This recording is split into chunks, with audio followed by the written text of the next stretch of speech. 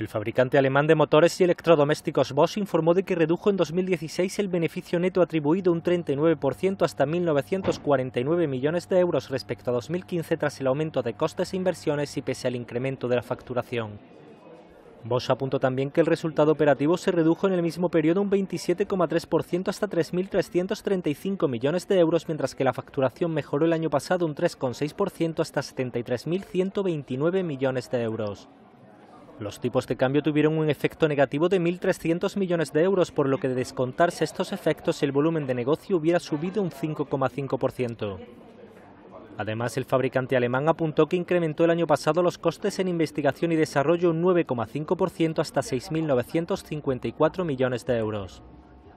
Bosch, que va a vender su filial de motores de arranque a un consorcio de empresas chinas formadas por CMJ y el inversor financiero CRC y por unos 500 millones de euros, quiere incrementar la rentabilidad. En palabras del presidente de Bosch, Paul McDenner, las dos tareas que tiene ahora la compañía son incrementar la rentabilidad y acometer la transformación del grupo.